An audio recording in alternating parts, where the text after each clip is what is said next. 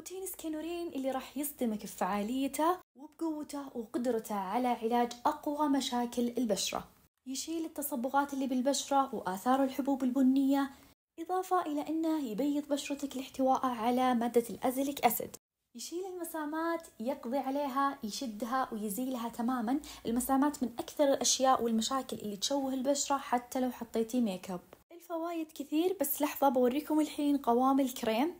الحلو بنات بكريم سكينورين انه قوامه جدا كأنه مرطب جدا خفيف تمتص بشرتك بسهولة وبسرعة ما يترك طبقة على وجهك. إضافة يا بناتي لأنه ما يسبب وخز ولا تحسس ولا تهيج ولا إحمرار عشان كذا هو يناسب البشرة الحساسة. لكن البنات اللي يحسون بوخز خفيف أو تهيج هذا بس يكون أول ربع ساعة بعدين راح يختفي. إذا استمر أكثر من ربع ساعة ونادرا ما يستمر شيله وغسلي وجهك معناها الكريم ما ناسبك. هالكريم بنات دائما نافذ من الصيدليات لأنه قوي وفي نفس الوقت يناسب كل أنواع البشرة يناسب الحامل والمرضع. أيضا بنات ما فيه أي خطورة ما فيه أي أعراض جانبية أو أضرار ما يحرق البشرة جدا لطيف. زي ما قلت لكم بنات يشد المسامات يشيل آثار الحبوب يشيل التصبغات إضافة إلى أنه يشيل التصبغات اللي حول الفم. البنات اللي يعانون من تصبغات حول الفم وسواد كريم سكانورين راح يشيلها لك. طبعا من منظرة رايح فيها أنا استخدمتها هذه العلبة الثانية اللي أستخدم فيها سكينورين وخلصته. وتدرون بنات إنه يستخدم لتفتيح وتبييض المناطق الحساسة؟ إضافة إلى كل هذا سعره رخيص بالثلاثينات سعره مرة رخيص تقدرين تقشين من الصيدلية لأنه يخلص بسرعة. تخيلوا بنات معي وحدة بالدوام وجهها دايما في آثار بنية وحبوب حتى حول الفم عندها في حبوب.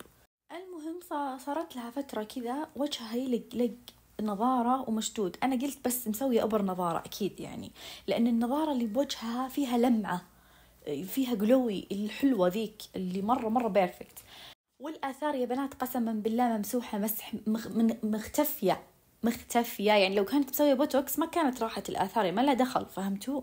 أنا على طول كذا سألتها لأن هي جنبي سألتها قالت إنه أنا أستخدم روتين سكينورين وطلعتها كذا قالت أنا لي عليه تقريبا أسبوعين بس.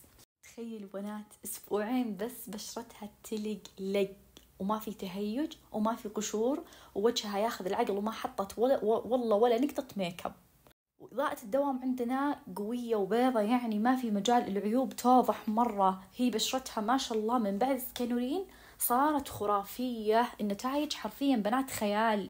طبعا لما بدينا نسولف وزي كذا قالت لي إن انت اللي نصحتني أستخدمه من زمان وإني توني أستخدمه. شفتوا كيف بنات؟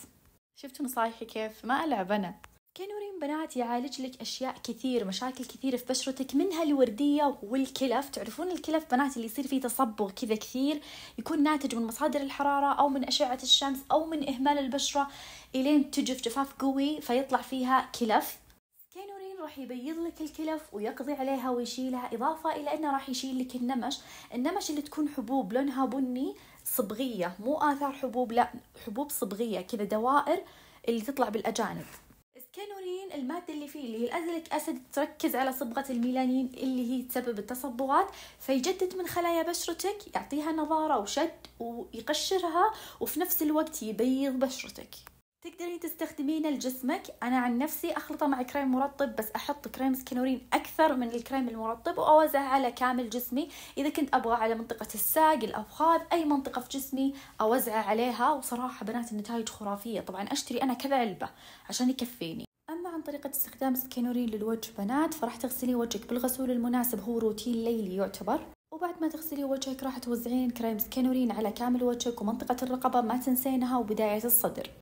وثاني مرة راح تخلين أربع ساعات وتغسلين وترطبين ثاني مرة راح تخلينه ست ساعات ونفس الشيء تغسلين وترطبين بعد كذا راح تخلينه يوم كامل تنامين فيه وإذا صحيتي تغسلين وترطبين.